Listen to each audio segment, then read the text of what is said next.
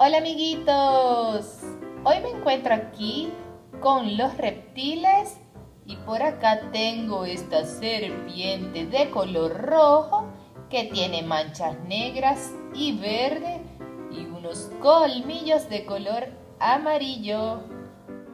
¿Ustedes saben amiguitos qué son los reptiles?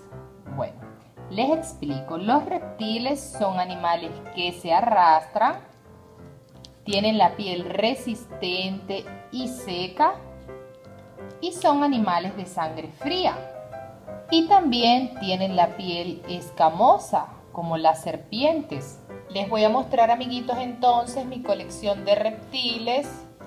Tengo esta linda serpiente. Tengo lagartos.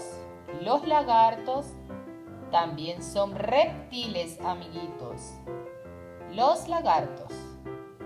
Tortuguitas. Por supuesto que las tortugas también son reptiles. Miren qué linda esta tortuga. Y acá tenemos otras tres tortuguitas. Fíjense que estas dos tortuguitas que tengo aquí son tortugas acuáticas. Estas son sus aletas para nadar. También tenemos estos reptiles, son cocodrilos y caimanes. Vamos a colocarlos por acá. Y por acá tengo otro cocodrilo. Hay un poco de desorden. Y bueno, amiguitos, les quiero aclarar que los sapos no son reptiles. Muchos creen que los sapos son reptiles, pero no, no, no, no. Los sapos son anfibios. Viven tanto en la tierra como en el agua. Y aquí tengo, amiguitos, otra serpiente. Uy, me mordió el dedito. Deben tener mucho cuidado, amiguitos, porque hay muchas serpientes que son venenosas. Entonces es muy, muy importante que no manipules ninguna serpiente si te llegas a encontrar con alguna de ellas.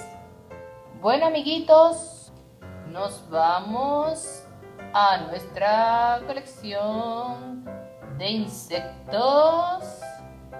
Por acá tenemos este verde saltamonte. Miren los ojos que grandes y sus patitas. Tenemos este super saltamonte.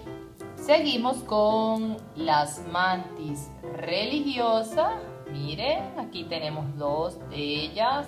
Y dato curioso, ¿sabían cuántas patas tienen los insectos? Los insectos tienen tres pares de patas, es decir, seis patas. Uno, dos, tres, cuatro, cinco, seis. Puedes reconocer un insecto por sus patas. Tienen seis. Aquí está uno de mis favoritos, la mosca. Son muy ruidosas y también son muy molestosas las moscas. Por supuesto que no debemos dejar a un lado nuestras mariquitas. Tenemos dos insectos y como les dije, seis patas y por último, amiguitos, tenemos esta cigarra y también tenemos esta avispa en nuestra colección de insectos. Fíjense, muchos insectos, la mayoría de ellos, tienen dos alas y por supuesto las seis patas. Bueno amiguitos, este lagarto me va a acompañar para despedirme de ustedes y para recordarles suscribirse a mi canal. Les mando muchos besitos a todos los amiguitos que les gustan los animalitos. Chao, chao.